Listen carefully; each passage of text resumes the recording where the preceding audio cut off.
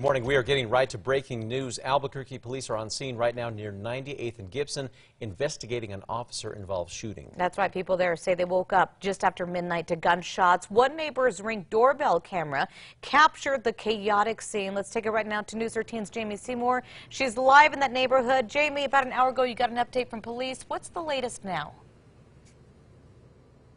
Yeah, Crystal, investigators say thankfully this was not a deadly shooting and somebody is already in custody.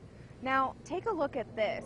A neighbor caught what appears to be officers in pursuit of a suspect on camera.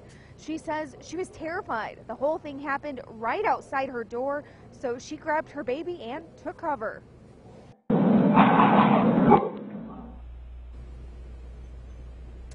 When we spoke with officers earlier, they say officers had been in the area investigating a shooting, and when they tried to make an arrest, the suspect shot at them. Officers fired back, shooting him. He was taken to the hospital but has already been released and was arrested. Investigators say they are also looking into property damage he may have caused out here, and that involves several different scenes.